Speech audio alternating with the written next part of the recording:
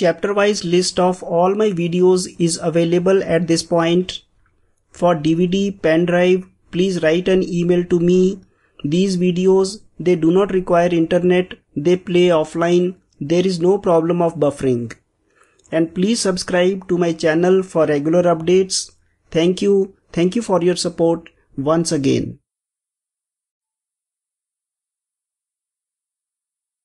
Let us take a few solved examples on the cases where two trains are moving towards each other and meet somewhere in between. This theory we have already discussed in our previous tutorial. Right now let us apply that knowledge to solve some questions. Now the first question is two trains start towards each other and meet somewhere in between. We can draw a diagram. If this is one train starting at P and this is second train starting at Q, they are moving towards each other and they will meet at some point in between. Suppose this is the point at which they meet. He says and meet somewhere in between. They will meet somewhere. After that, they reach their destinations after 16 and 9 hours respectively. So if this is the first train traveling at speed v1 and if this is the second train traveling at speed v2, we have assumed the speeds as v1 kilometers per hour and v2 kilometers per hour and the, he says after meeting they reach their destinations after 16 and 9 respectively. So the time taken by the train traveling with V1 this time is given as 16 hours and the time taken by the other train has been given as 9 hours. What is the speed of the second train? If the first one travels at 120 kilometers per hour. So we have been given the speed of one of the trains and we are required to find out the speed of the other train.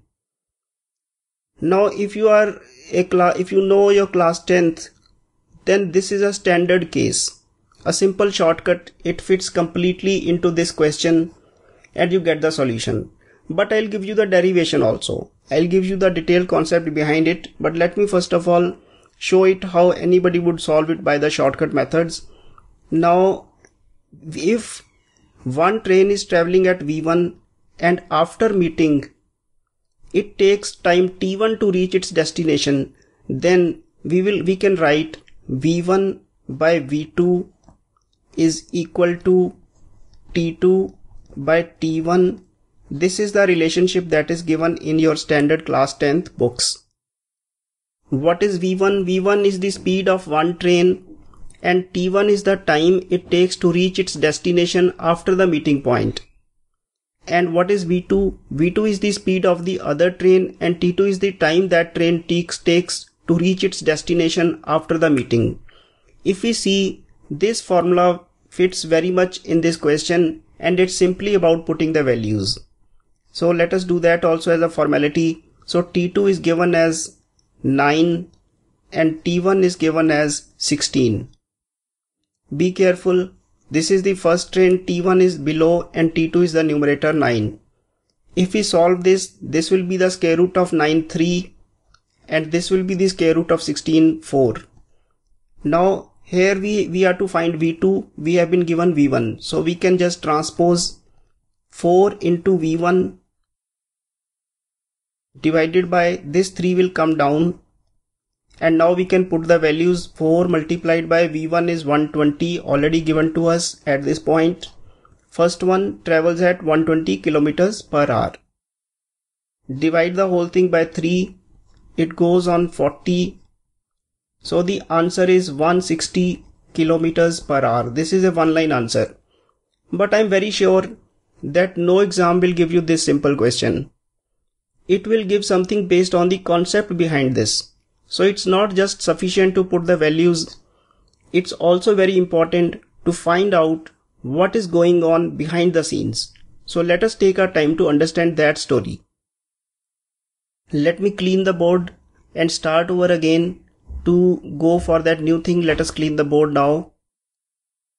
This is one train at P. This is second train at Q. This one is traveling towards the right at a speed of v1 and this is traveling towards the left at a speed of v2. Now what is the meeting point? at what point do they meet? The initial distance between the two points will have to be assumed as L like we have always done. So let us suppose they meet at this point. Then if you refer the previous videos from there we can easily see that the time to meet is what? Time to meet is the distance between the two trains by the sum of the speeds of the two trains because the two trains are moving in the opposite direction. The relative speed will be v1 plus v2 i have given a detailed explanation of this thing in the previous videos. So this is the time to meet we know.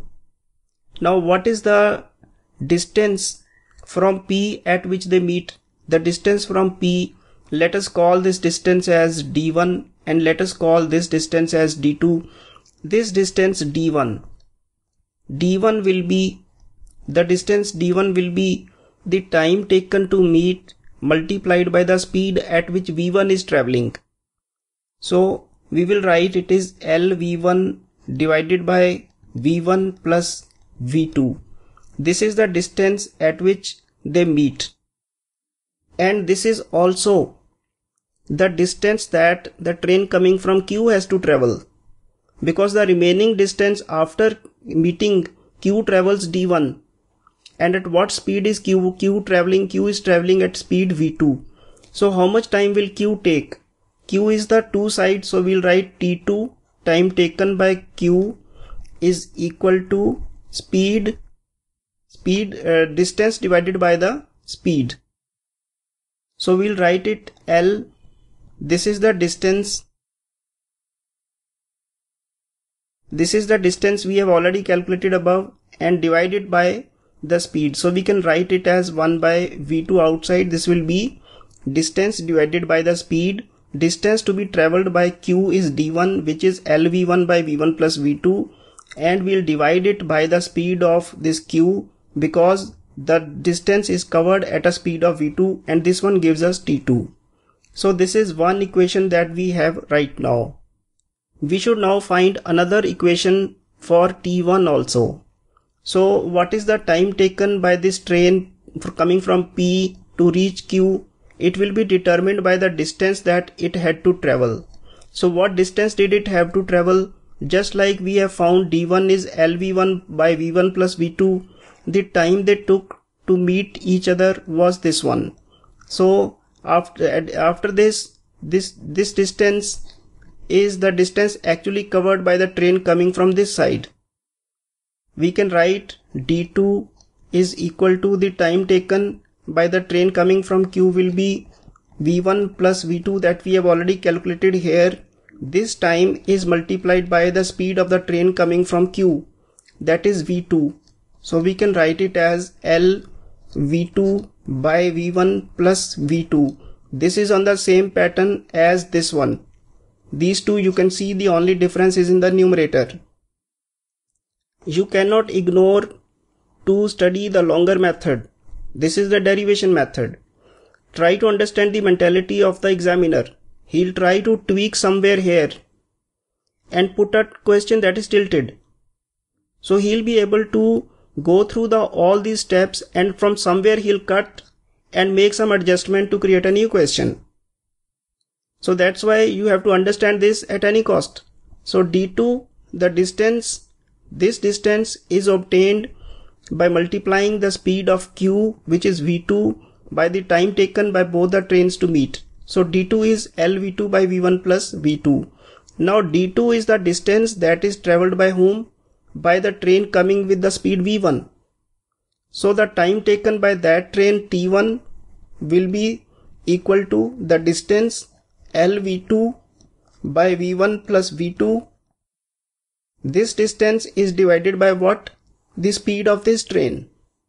We'll write it as 1 by V1. This is the second equation that is available to us. Let us not divide T2 by T1 because two times are given to us and we have to find a relationship. So we'll divide T2 by T1. We'll write T2 by T1 is equal to when you divide this by that one what will happen is uh, let me write it fully I'll, I'll not do orally I'll write it fully L V1 by V1 plus V2 into 1 by V2 this entire step is divided by what LV2 by V1 plus V2 and divided by V1. Now this numerator is same as coming from equation 2. This point, this denominator, sorry, the numerator has been picked from here. This point comes here. Now let us see what cancels out. This L will go away. V1 plus V2 will also go away. So what will ultimately be left is this V1 will rise up so what we will ultimately be left with is V1 square by V2 square. So this is what we can visualize. This is what will ultimately come. So this is the same formula that I used in the first steps of this question. Now basis on the basis of this you can make the substitutions and get your answer. So this longer technique you should try to do it on your rough paper also and come back to the video in case you forget it. So this will help you go a longer way. Let us take our next question.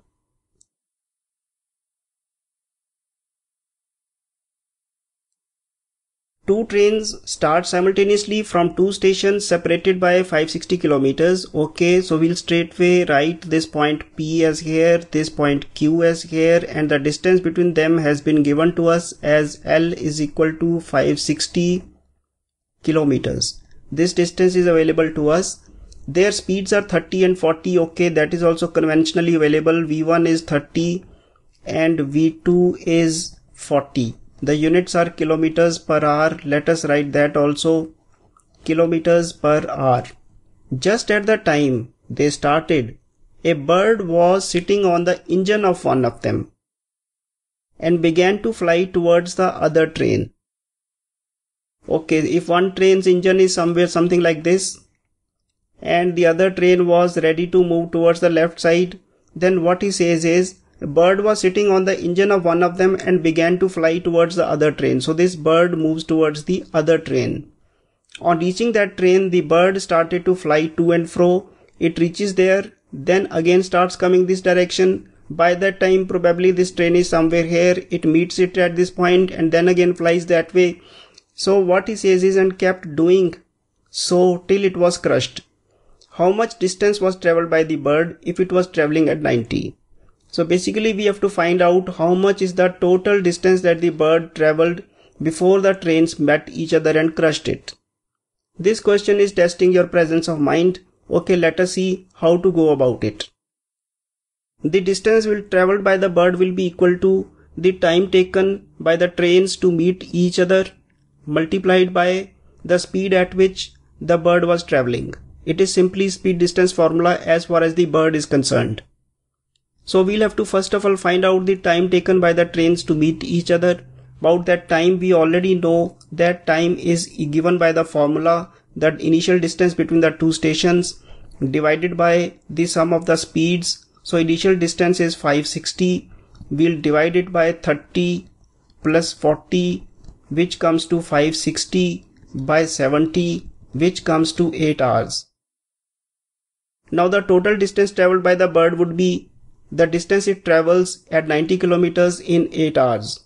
So distance by the speed distance formula is equal to speed multiplied by the time taken which we have all the facts available 90 is available at this point multiplied by the time which is 8 so it is equal to 720 kilometers a very simple answer it merely required a presence of mind on your part. So sometimes questions are very simple and they appear very tough. Anyhow, let us move to our next question.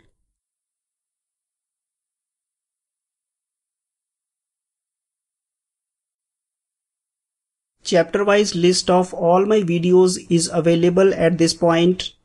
For DVD, pen drive, please write an email to me. These videos, they do not require internet they play offline, there is no problem of buffering. And please subscribe to my channel for regular updates. Thank you. Thank you for your support once again.